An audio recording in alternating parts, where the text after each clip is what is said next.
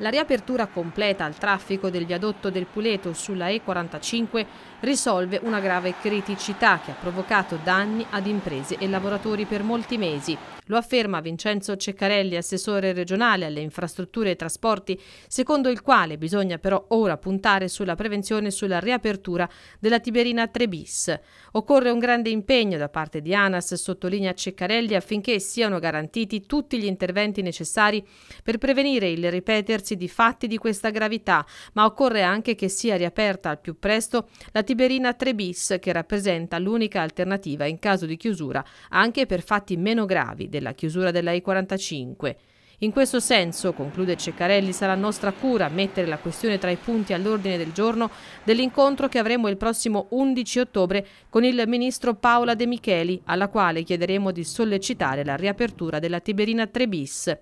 un impegno che aveva sottolineato anche il sindaco di San Sepolcro Mauro Cornioli proprio nel giorno della riapertura della E45. In settimana incontreremo i nuovi vertici dell'ANAS Toscana, l'ingegner del Monaco, nuovo responsabile compartimentale e, approfondiremo tutta la situazione della ex Crebis che continueremo a monitorare con la stessa intensità con la quale abbiamo fatto per il viadotto Puleto. E 27 km di tratto toscano, sappiamo che sono i più bisognosi di cure, eh, perché sia in Romagna, in Emilia Romagna che in Umbria ci sono stati importanti lavori, l'ingegner del, del, Monaco viene dall'Umbria, dunque conosce molto bene la I45 e ci auguriamo che ci sia un percorso veloce anche per la sistemazione del fondo stradale e degli altri viadotti.